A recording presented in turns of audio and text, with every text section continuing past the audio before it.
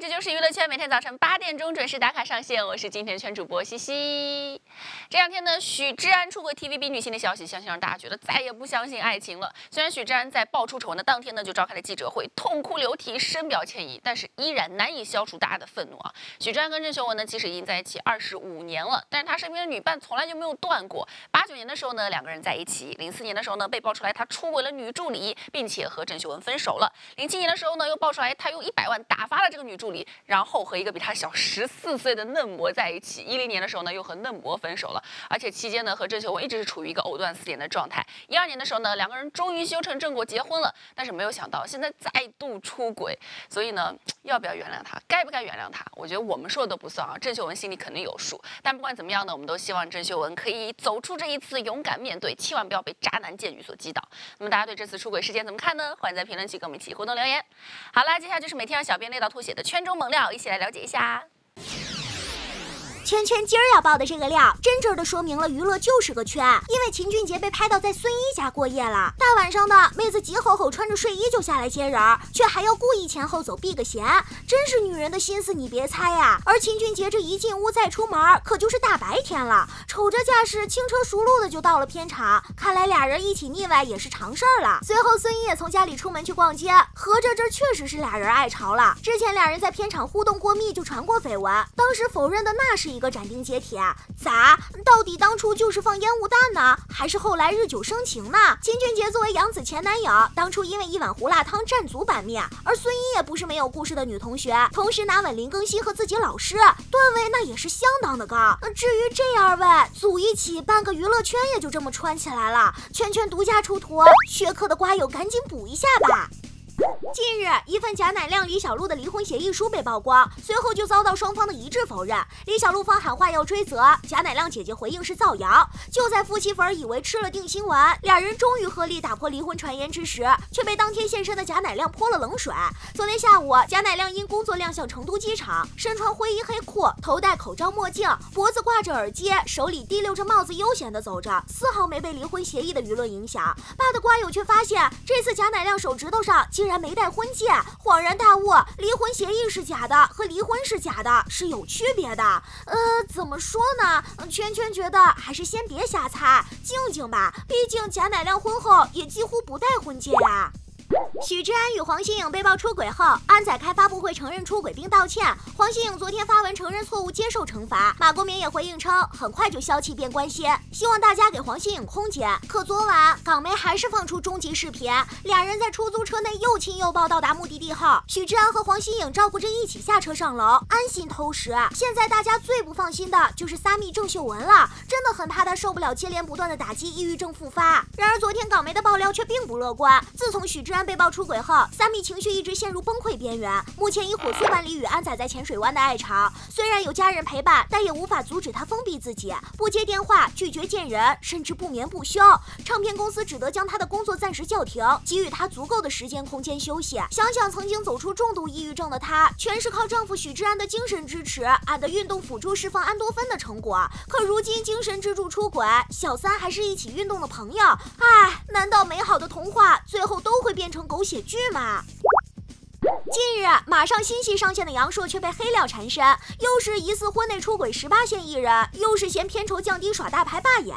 昨天晚上，不堪网友唇枪舌剑的杨烁方委托律师发布声明称，以上均属不实传闻，已涉嫌侵犯杨烁名誉权，请立刻停止转发转载等行为，并将对不实言论的发布者依法追责。同时，特意强调杨烁及其工作室坚决拥护国家广电总局对影视行业的管理规定，绝对没有出现以上行为，鼓励社会公众正当监督，反对操纵。舆论恶意炒作，哎，这么有底气，那瓜友们就静候佳音吧。但如果说最近针对他的猛料都是假的，那杨烁和他的团队就真该好好琢磨琢磨，到底是动了谁的奶酪了。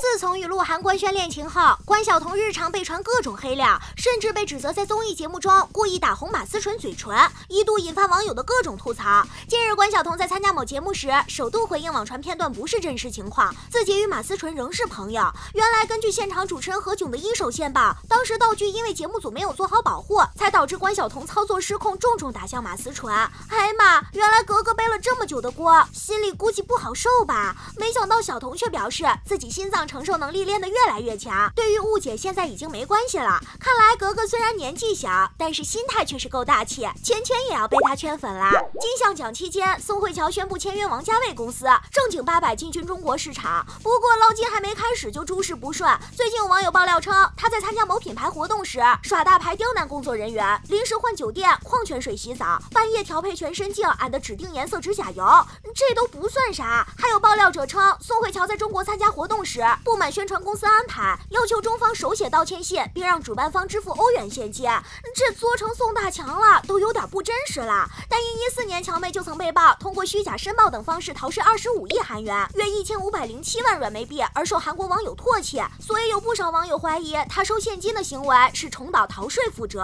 可是圈圈觉得来中国收入就够高的了，她没必要再铤而走险吧？这瓜我们还是再等等，熟了再吃。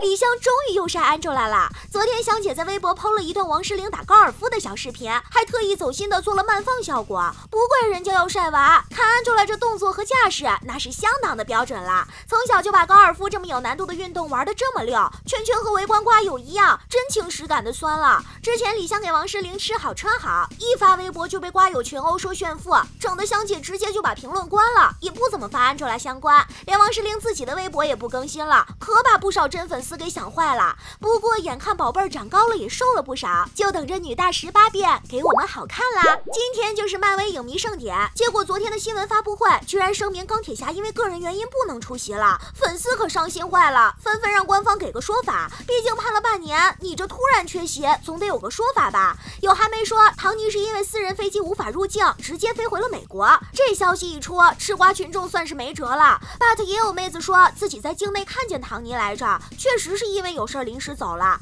不论因为啥吧，铁罐粉都只能盼着下次再见本命了。不过虽然 RDJ 没来，美队也缺席发布会，但我淘贴心的录了小视频，说自己盛典一定到。蚁人和鹰眼也是完美营业，前者怕剧透不敢回应记者提问，居然把大哥喊到台边咬耳朵；后者则在微博热情互动，还翻牌粉丝。But 去年的新连新慰问演出历历在目，今晚的盛典到底是一雪前耻还是再创辉煌，咱们就拭目以待吧。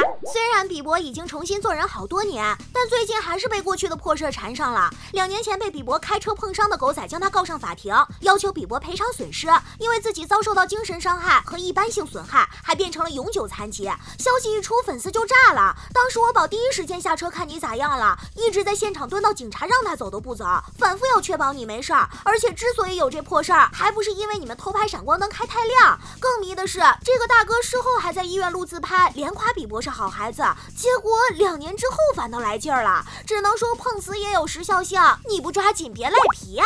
《封神演义》播到现在，圈圈我是明白，古人没有电话多耽误事儿了。那面妲己以为全家都没了，在宫里为了报仇全盘黑化，眼看着连太子都不打算放过，想跟纣王一起老小一锅端。这面杨戬还不紧不慢，学着始终也没啥进展的仙术，吃瓜群众都跟着快急死了。你再不加把劲儿，妲己就要生出小狐仙来了。嗯，不过妲己生活虽然丰富，杨戬荒山野岭照样捡妹子，这不就练着练着就靠肩膀了。之前无论如何学不会的法术，一下就无师自通了。啊，萌妹的力量看来真的是无限的。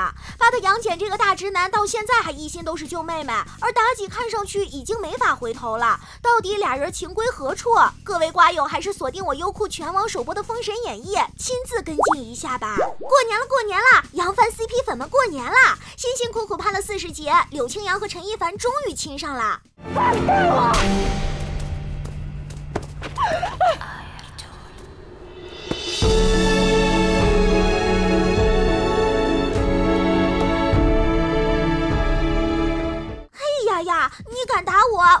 亲你。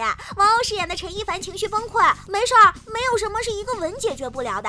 如果有，那就再给我亲。网友看了都觉得他俩 CP 感十足，尤其吻戏的时候，王鸥看着攻，吻戏像一个懵少女；贾乃亮平时看着逗逼，吻戏却霸气十足。CP 粉更是含泪磕糖，这是什么魔鬼爱情？连吻戏都这么虐的。不过杨帆女孩们坚持住，锁定优酷扛起大旗，结局不远，甜蜜已经近在咫尺啦。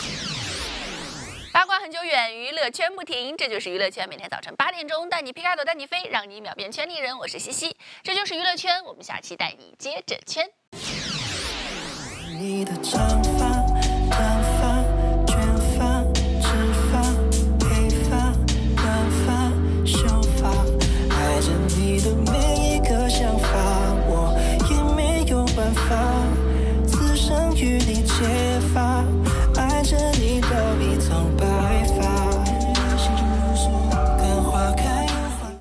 世界很酷。